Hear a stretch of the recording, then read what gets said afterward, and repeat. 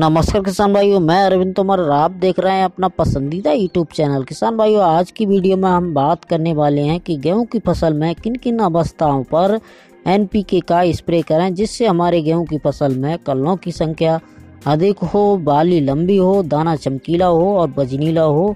ये जानने से पहले जो किसान मित्र हमारे चैनल पर नए आए हुए में चैनल को सब्सक्राइब कर लें, वीडियो को लाइक कर दें और ज़्यादा से ज़्यादा किसान हित में इस वीडियो को शेयर करें।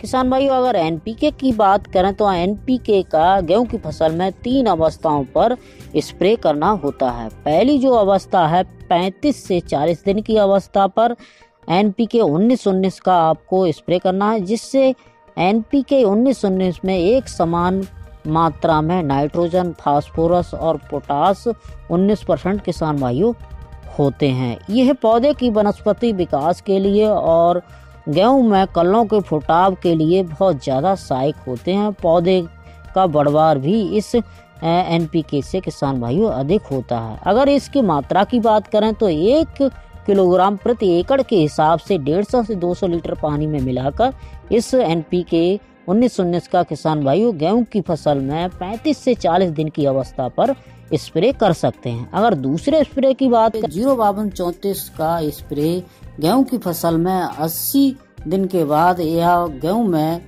बाली बनते समय या गमोद अवस्था पर ज़ीरो बावन चौतीस का स्प्रे किसान भाइयों, आप कर सकते हैं। इसकी डोज की बात करें तो इसकी डोज एक किलो प्रति एकड़ के हिसाब से इसका आप स्प्रे कर सकते हैं। डेढ़ सौ से दो सौ लीटर का पानी में मिलाकर आप स्प्रे कर सकते हैं। साथ ही साथ अगर थर्ड स्प्रे की बात करें तो थर्ड स्प्रे किसान भाइयों दूध बनते समय आपको करना है। वो स्प्रे किसान भाइयों आपको ज़ीरो ज़ीरो पचास का करना है, जिससे आपके गेहूँ में दानों का चमकीलापन होगा, दाना मोटा बनेगा। और मित्रों, इस हिसाब से अगर गेहूँ की फ़सल में एनपीके का आप स्प्रे करते हैं तो गेहूँ की पैदावार में बहुत ज़्यादा अंतर दिखेगा। किसान भाइयों, अगर वीडियो अच्छी लगी है तो वीडियो को लाइक करें और चैनल पर नए आई हुई चैनल को सब्सक्राइब अवश्य करें। तो थैंक यू, नई वीडियो में नए टॉपिक के साथ फिर मिलते हैं। तब तक के लिए धन्यवाद।